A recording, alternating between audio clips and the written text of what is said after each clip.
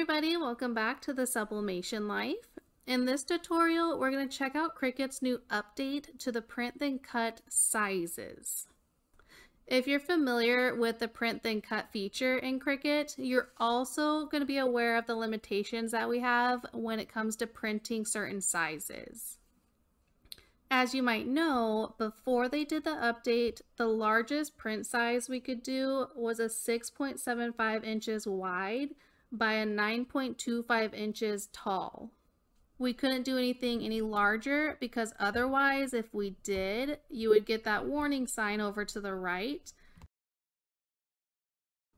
telling us that it's not supported by our machine or that we can change the paper size, but we really want to be able to print what we want to print for the size of project that we need. And luckily, Cricut finally heard us because we can now print up to larger format sizings that can print up to an 11.5 inches wide by 23.5 inches wide. So that's a huge difference. And I'm to zoom out here and just kind of do a comparison side by side on the difference in size. And then I'll show you how we actually go about getting to the updated version to try so that you can do that large print format. So as you can see, this is my larger sized little elephant, and this is the one where we can normally do, which was limited. As you can see, because I upped the size, it does have that little exclamation mark warning over there telling me that's too big to print, and it won't even let us go to our next step. So to get to that large print format, what we need to do is go on over to the far left where the little hamburger lines are. We're going to go ahead and click on that. Go down to settings right here, click on settings, and you're going to get the design space settings pop-up box. And there's going to be tabs for general, canvas, load type, notifications, language, saving for offline, and application experience. The application experience is the only thing you need to worry about as you're trying to change to the updated version. As you can see, it is selected as live.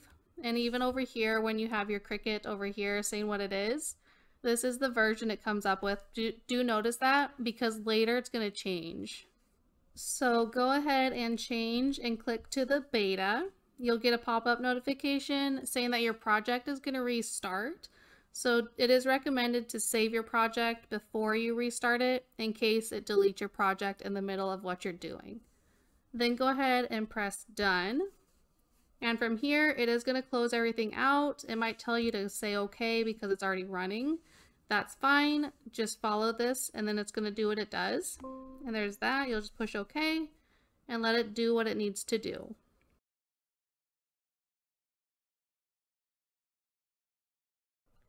All right, so we have reloaded and re-updated Cricut Design Space. My image is all off-center, but we'll go back and correct that.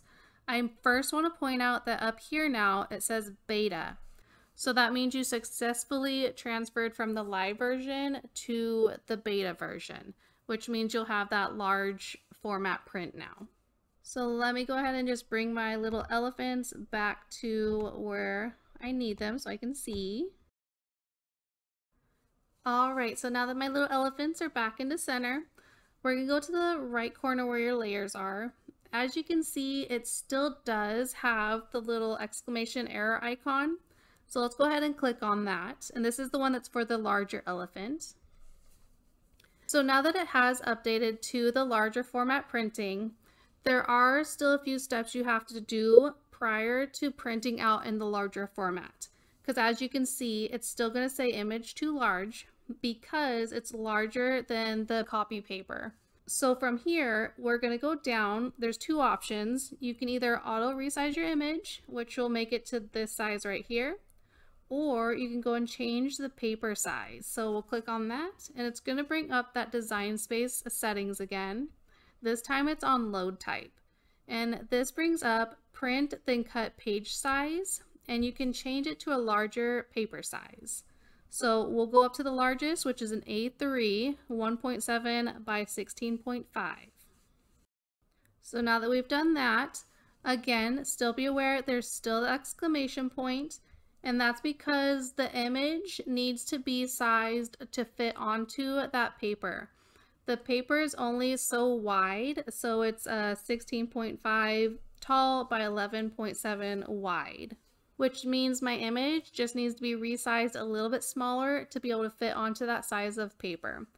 To make that perfectly easy, Cricut did add an auto resize image button. You simply click on that and it slightly resizes it down to the size that will make it fit for you.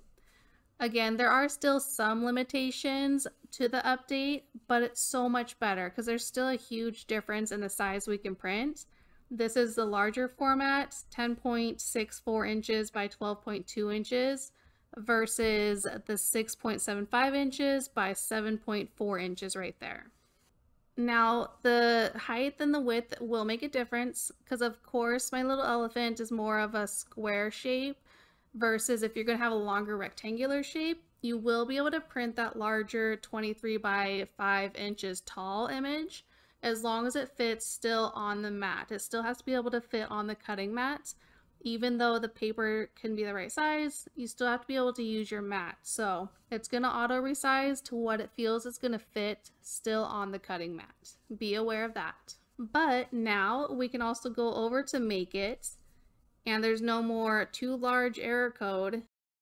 And now you have a large print then cut. You can move it around. You can place it where you want to, but you can see the difference versus what we previously were able to size compared to now. It's a huge print and it's going to make it so much easier for those large projects that you have.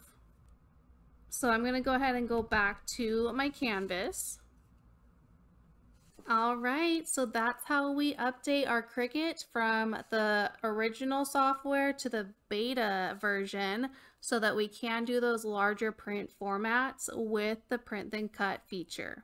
If you enjoyed this tutorial, go ahead and boop that like button, subscribe to this channel, and share for others so they can get helped as well. Have a wonderful day and happy crafting!